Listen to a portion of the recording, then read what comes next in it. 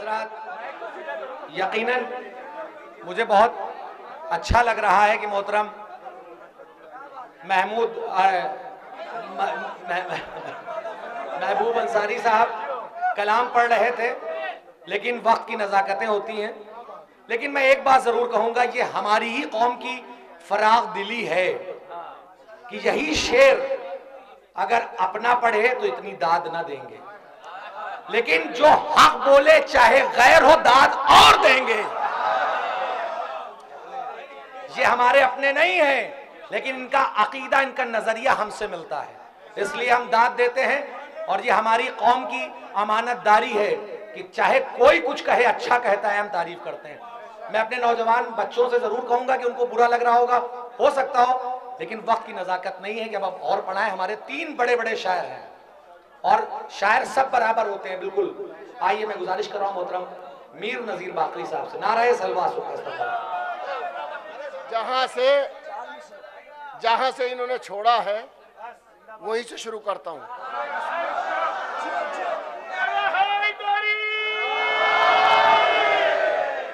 جس کو بھی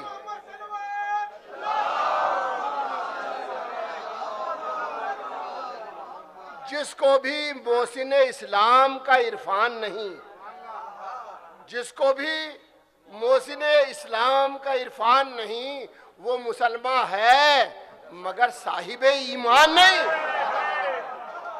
ایسے نہیں سنو گے، میں میں اس اب پڑھوایا ہے مجھے۔ آپ نے تو پھر میں آپ کو سننے کا بھی وہی طریقہ رکھوں گا انشاءاللہ۔ انشاءاللہ جیتے رہیے آپ۔ جس میں جس جس کو بھی محسن اسلام کا عرفان نہیں، وہ مسلمان ہے مگر صاحب ایمان نہیں، جس میں سب سورے ہیں اور سورہ عمران نہیں۔ جس میں سب سورے ہیں اور سورہ عمران نہیں، ارے وہ کوئی اور صحیفہ ہے، وہ قرآن نہیں۔ جس میں سب سورے ہیں اور سورہ عمران نہیں، جس میں سب سورے ہیں اور سورہ عمران نہیں۔ وہ کوئی اور صحیفہ ہے، وہ قرآن نہیں۔ وہ کوئی اور صحیفہ ہے، وہ قرآن نہیں۔ میں دیکھوں گا کہ آپ کتنا سننا چاہتے ہیں، اس حساب سے پڑھوں گا۔ جس میں سب سورے ہیں اور سورہ عمران نہیں۔ وہ کوئی اور صحیفہ ہے، وہ قرآن نہیں۔ اب سنیے گا، بہت بڑا شعر ہے، بہت چھوٹے لفظ ہیں۔ عجیب یہ یہ اس شعر کی بد نصیبی ہے، لفظ چھوٹے ہیں، مگر بات بہت بڑی ہے۔ پتہ نہیں آپ کو کتنی بڑی لگے گی، میں نہیں جانتا۔ تو نے سمجھا ہے، محمد کے چچا کو کافر۔ سنیے گا مصرا سنیے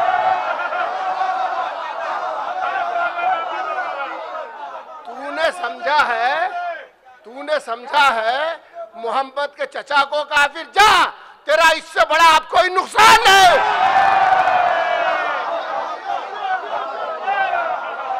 تو نے سمجھا ہے محمد کو کافر۔ جا تیرا اس سے بڑا آپ کوئی نقصان نہیں۔ جا تیرا اس سے بڑا آپ کو اب یہ دو میرے بچے یہ سنے دونوں شیر ان کے خون میں اس وقت جو روانی ہے، وہ کتنی بڑھ جائے گی میں نہیں جانتا ہوں، اب شیر پیش کرتا ہوں میں۔ جا تیرا اس سے بڑا آپ کوئی نقصان نہیں۔ داغ نطفوں کے۔ داغ نطفوں کے۔ داغ نطفوں کے لیے بیٹھے ہیں جو اہل عرب۔ داغ نطفوں کے لیے بیٹھے ہیں جو اہل عرب اتنے کم ظرف ہیں، اب تک بھی پشیمان نہیں۔ سنیے گا، اتنے کم ظرف ہیں، اب تک بھی پشیمان نہیں، بس بسرا مکمل ہو جاتا کہ شکر حق ہے کہ علی باپ سے پہچانے گئے۔ ارے کتنا بڑا مصرا سنا تم نے یہ۔ شکر حق ہے کہ علی باپ سے پہچانے گئے ورنہ کچھ لوگوں کے باپوں کی بھی پہچان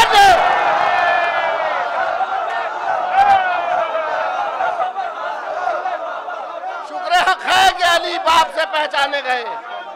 شکر حق ہے کہ علی باپ سے پہچانے گئے۔ ورنہ کچھ لوگوں کے باپوں کی بھی پہچان نہیں۔ شکر حق ہے کہ علی باپ سے پہچانے گئے۔ ورنہ کچھ لوگوں کے باپوں کی بھی پہچان نہیں۔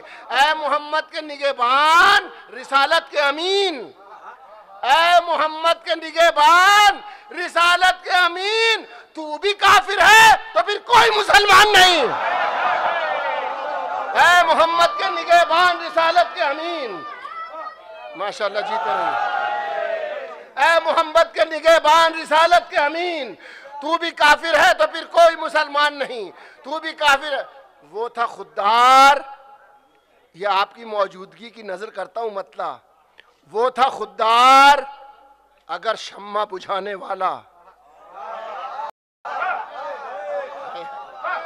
وہ تھا خوددار، اگر شمع بجھانے والا، کوئی ساتھی بھی نہ تھا چھوڑ کے جانے والا۔ کہاں لے کے جا رہا ہوں میں آپ کو؟ وہ تھا خوددار، اگر شمع بجھانے والا، کوئی ساتھی بھی نہ تھا چھوڑ کے جانے والا۔ ظالمو، سوچ لو، تم ہار چکے ہو جس سے۔ ظالمو، سوچ لو تم ہار چکے ہو جس سے ایک باقی ہے ابھی اس کے گھر آنے والا۔ ظالمو، سوچ لو تم ہار چکے ہو جس سے ایک باقی ہے ابھی اس کے گھر آنے والا۔ ظالموں سوچ لو تم ہار چکے ہو جس سے ایک باقی ہے ابھی اس کے گھر آنے والا۔ تمہارے خون کی وجہ سے مجھے یہ شعر یاد آ گیا ہے کہ عقیدے کو کسی کتاب کی ضرورت نہیں ہوتی ہے۔ عقیدہ ہی ایک ایسی چیز ہے جو سب سے مضبوط ہے۔ اور یہ معصومین کا قول ہے کہ جاہل پہ تمام جہالتیں ہوتی ہیں، لیکن اس کے پاس عقیدہ بہت زبردست ہوتا ہے۔ عقیدے کی کاٹ کوئی چیز نہیں کر سکتی۔ عقیدہ کسی چیز میں بھی کر لے، پتھر میں کر لے، آگ میں کر لے، بت میں کر لے، اس میں کر لے۔ مگر ہم نے تو میرے مولا پہ عقیدہ رکھا ہے نا۔ اب شیر بس یہ دو شیر پڑھتا ہوں پہلے۔ نظر کرتا ہوں، کیا ضروری تھا؟ جو حل کرتا کتابوں سے سوال۔ سنیے گا، کیا ضروری تھا جو حل کرتا کتابوں سے سوال جب جواب اس کا میرے خون کے اندر نکلا؟ کیا ضروری تھا جو حل کرتا کتابوں سے سوال جب جواب اس کا میرے خون کے اندر نکلا؟ اور مسجدوں میں مسجدوں میں تو ملے سینکڑوں سجدے، لیکن مسجدوں میں تو ملے، سینکڑوں سجدے، لیکن قتل گاہوں میں فقط سجدہ سرور نکلا۔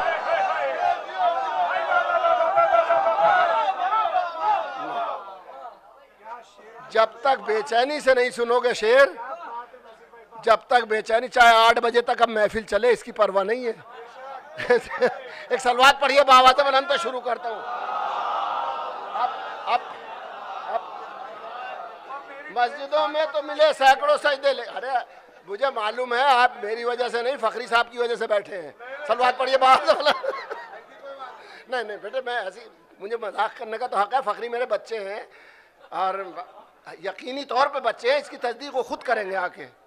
اس کی تصدیق خود کریں گے واقع ایسا نہیں ہے۔ مسجدوں میں تو ملے، سینکڑوں سجدے، لیکن قتل گاہوں میں فقط سجدہ سرور نکلا۔ اب دیکھیے، میں مطلب پڑھتا ہوں۔ مرادہ فرمائیے۔ مطلب پڑھتا ہوں میں۔ بن گیا پانی کے اوپر راستہ باس کا۔ اب دلیل سنیے گا، میرے بچے سنتے رہیں۔ بن گیا پانی کے اوپر راستہ عباس کا۔ ایک قدم موسا کا ہے اور دوسرا عباس کا۔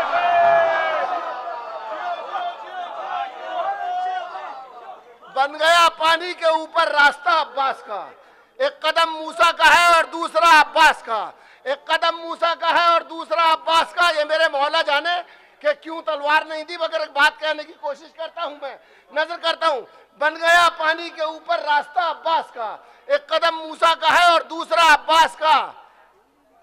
اس لیے شبیر نے پیتیغ بھیجا جنگ میں۔ سنیے گا بھائی۔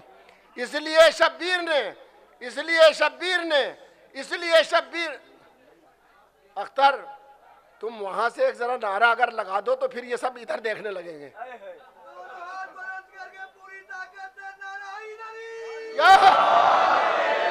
ہاں یہ تمہاری طرف دیکھ رہے ہیں تم بہت اچھے لگ رہے ہو اس لیے تمہاری طرف ساتھ دیکھ رہے ہیں۔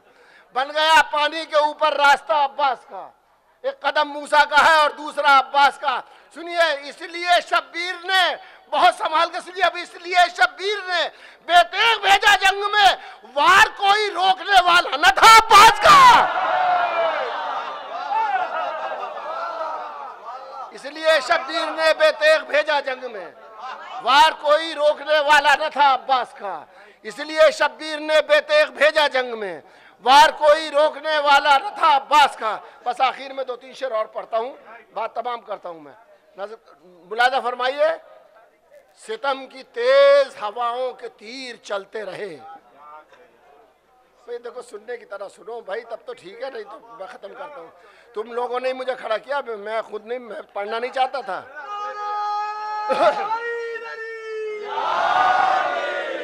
میں، تم لوگوں نے مجھے بلایا ہے، میں پڑھ رہا ہوں۔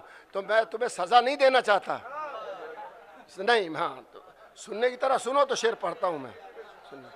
اور اب بنیادی طور پہ ہمیں ہم لوگوں کو تو ریٹائر ہو جانا چاہیے اور صرف سننا چاہیے دوسروں کو۔ سچی بات تو یہی ہے۔ بن گیا پانی کے اوپر راستہ عباس کا۔ ایک قدم موسا کا ہے اور دوسرا عباس کا۔ اس لیے شبیر نے بیتیک بھیجا جنگ میں۔ وار کوئی روکنے والا نہ اب دیکھیں مطلب پڑھتا ہوں بھائی اب آپ لوگ خاص طور سے بس سنیے گا۔ اور یہ نہ اردو میں ہے، نہ ہندی میں ہے شعر۔ الحمدللہ، کم سے کم مجھے یہ یقین ہے کہ اس زبان میں ہیں جو سب جانتے ہیں۔ میں انہیں کیا، اس زبان کا کیا نام دوں؟ جس جس، جب جس، جب تمام ہمارے دعوت نامے، تمام ہمارے اشتہارات کس زبان میں چھپتے ہیں؟ اس پہ کبھی توجہ دے لیں تو زیادہ اچھا ہے۔ ورنہ ہم لوگ جو ہیں بزرگوں کا ایک قول ہے کہ اگر کسی قوم کو مٹانا ہے تو اس کی زبان اس سے چھین لو۔ دوسرا قول اس کا پیرالل ہے کہ اگر کسی زبان پہ حکومت کرنی ہے تو اس کی زبان سیکھ لو۔ اس کی دلیل ہمارے پاس ہندوستان میں یہ موجود ہے کہ اگر گاندھی اور کیا نام ہے آپ کے جینا یہ انگریزی نہ جانتے ہوتے تو ہندوستان آزاد نہ ہوتا۔ اس کی دلیل یہ ہے، دوسرے کی زبان سیکھو۔ تو اگر کسی پہ حکومت اب پتہ نہیں ہم لوگ کون سے حکومت کو فتح کرنا چاہ رہے ہیں جو اپنی زبان چھوڑے ہوئے ہیں۔ سنیے سلوات پڑھیے محمد والے محمد پر۔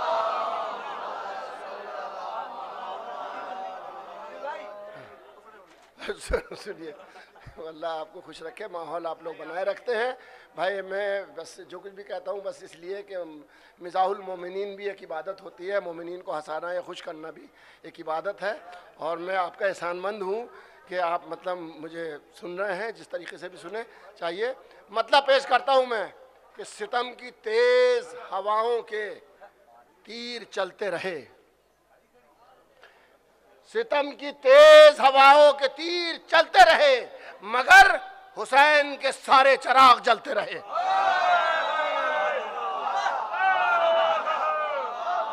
ستم کی تیز ہواؤں کے تیر چلتے رہے۔ ستم کی تیز ہواؤں کے تیر چلتے رہے۔ ستم کی تیز ہواؤں کے تیر چلتے رہے۔ مگر حسین کے سارے چراغ جلتے رہے۔ مگر حسین کے سارے چراغ جلتے رہے۔ جنہوں نے ماؤں سے سیکھا تھا یا علی کہنا، جنہوں نے ماؤں سے سیکھا تھا یا علی کہنا، انہوں نے کھائی بھی ٹھوکر تو وہ سبلتے رہے۔ جنہوں نے ماؤں سے سیکھا تھا یا علی کہنا۔ جنہوں نے ماؤں سے سیکھا تھا یا علی کہنا، انہوں نے کھائی بھی ٹھوکر تو وہ سبلتے رہے۔ جنہوں نے ماؤں سے سیکھا تھا یا علی کہنا، انہوں نے کھائی بھی ٹھوکر تو وہ سنبھلتے رہے۔ جنہوں نے ماؤں سے سیکھا تھا، یا علی کہنا۔ انہوں نے کھائی بھی ٹھوکر تو وہ سنبھلتے رہے۔ اب شعر سنیے گا۔ علم تھا ہاتھوں میں، سایہ فگن فریرا تھا۔ علم تھا، علم اٹھانے والے زیادہ محسوس کرے علم تھا ہاتھوں میں، سایہ فگن فریرا تھا۔ بڑے سکون سے شولوں پہ پاؤں چلتے رہے۔ علمتا ہاتھوں میں، سایہ فگن فریرا تھا۔ علمتا ہاتھوں میں سایہ فگن فریرا تھا۔ بڑے سکون سے شوروں پہ پاؤں چلتے رہے۔ علمتا ہاتھوں میں سایہ فگن فریرا تھا۔ بڑے سکون سے شولوں پہ پاؤں چلتے رہے۔ بڑے علمتا ہاتھوں میں سایہ فگن فریرا تھا۔ بڑے سکون سے شولوں پہ پاؤں چلتے رہے۔ ملازہ فرمائیے کہ بڑے سکون سے شولوں پہ پاؤں چلتے رہے۔ علمتا ہاتھوں میں سایہ فگن فریرا تھا۔